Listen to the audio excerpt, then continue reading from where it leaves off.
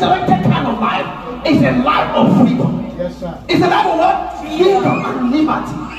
But see, Apostle Paul is saying here that there are some spies. There are some people who are sent to spy on you, Yeah. Yeah. to bring you into bondage. That's right. Uh, the life that you've been given, the life that Christ died and resurrected. The reason why he died is for you to have freedom. Ah. Glory to God. Someone say, I have freedom in Christ. I have freedom in Christ. I have freedom in I Christ. have freedom in No Christ. enemy will take me captive No enemy will Take me captive. because there is a spy. That's why it scripture says that the devil he goes to and fro looking for who?